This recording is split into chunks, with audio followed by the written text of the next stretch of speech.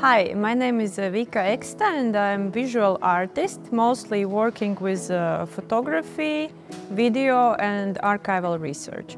And so here we see my works from the photography series, The Devil's Lake. The series is dedicated to the small lake that is located uh, not far from Aglona parish. This lake is called uh, Devil's Lake and many people find it uh, slightly mysterious. I was born uh, in, a, in a small place that is not far from the lake and when I was a child um, actually nobody was thinking it is mysterious.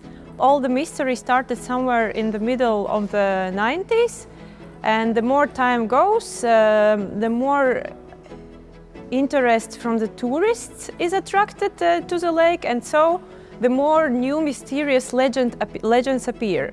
And uh, my goal was uh, to photograph the lake throughout the year for several years and also to record different uh, mysterious legends uh, that tourists and people who come by uh, talk about. I was interested in discovering uh, how this landscape of the forest, water and pine trees, what is in this landscape that make people think all these thoughts.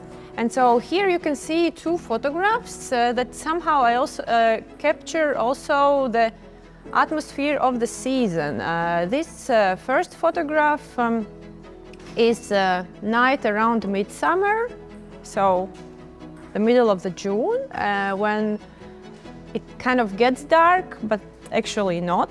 And the second photograph, uh, you can see the landscape of the lake one morning in November, when there is a slight uh, mist.